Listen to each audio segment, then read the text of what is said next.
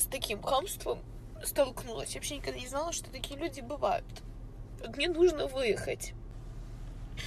Люди перекрыли специально дорогу. Я их просила раз, попросила два. Мало того, что они еще стали на вот эту разметку для пожарной части.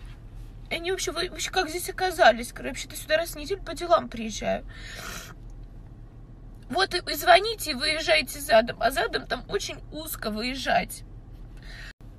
Знаете, я просто не ожидала, что вот такие вот люди, твари бывают. Вот просто твари. Вот как так можно себя вести, я не понимаю. Они раз копошились, там что-то выходили. Второй раз я их попросила, они там ребенка вынесли с машины. В общем, вот такой стресс я сейчас получила, и женщина вышла спустя вот только что выехала. Вот, и таких вообще на, на дорогах хамов не встречала. Так мало того, что еще ну, я открыла окно, говорю, знаете, дай бог, чтобы с вашими детьми так не поступали. И она мне там что-то вслед сказала. Я уже не слышала специально. Про себя там слова проговаривала, чтобы лишь бы не слышать, что он там говорит. Просто вот такие вот люди. Еще ладно, я понимаю, она была бы права, но она-то стала вообще на пожарные разделители. Красно-белые полосы, где она вообще не должна стоять. Это машина, это как вообще? Она же не хозяйка двора, им да вы вообще не отсюда. Говорю, какая разница? Я сюда езжу раз в неделю. Говорю, я не обязана вам рассказывать, откуда я. Это как вообще? Вот объясните мне.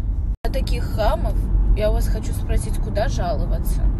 Я зафиксировала, что их машина стояла там-то, там-то. Вот, скажите, куда можно жалобу написать, чтобы им выписали за такое поведение штраф? То есть такие вещи, я считаю, должны быть наказуемы. С какого перепуга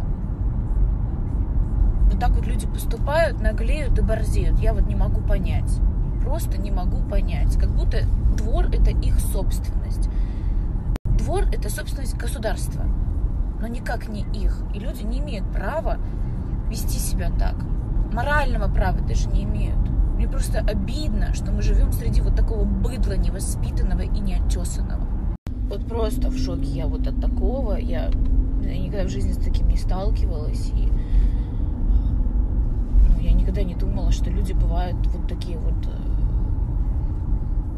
грубияны, хамы, невоспитанные и неотесанные. Я никогда не могла подумать, что я с таким столкнусь. Вот просто. Знаете, я... Ну, у меня в голове просто это не укладывается. Как так можно? Тем более я скажу, что там задом я не могу сдать, там реально очень узенько. То есть я не, не хочу рисковать там машиной, здоровьем, нервами. И в итоге, видите, как э, все обошлось мне. Эта женщина с мужчиной потрепали технично нервы. И как будто так и надо, как будто так и положено. Хотя место свободное же было, в бок уехать. Вот я освободила место. Очень странные люди, очень. Я еду, и меня уже все равно кроет. Я вот не могу до конца успокоиться. Сейчас, наверное, придется остановиться, дальше выплакаться, потому что мне настолько больно это. Я передать не могу, вот правда. Просто хочется вам об этом рассказать, чтобы вы понимали, какие дебилы бывают на дорогах. И не просто на дорогах, да, на трассе, а во дворах. Какое злющее, вы представляете, бывает. Как так можно с людьми-то поступать, я не понимаю. Такие злющие люди. Еще с таким лицом, с таким выражением. Просто как будто она мне обязана. Я ей обязана что-то, я что-то не дала минимум я ей там 300 тысяч должна.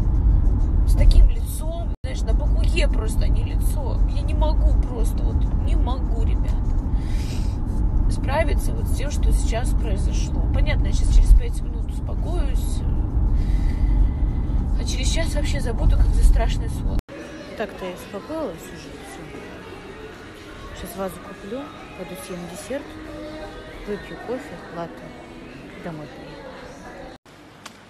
Когда просто вот так покупаешь себе, на в тебе, поехал дальше.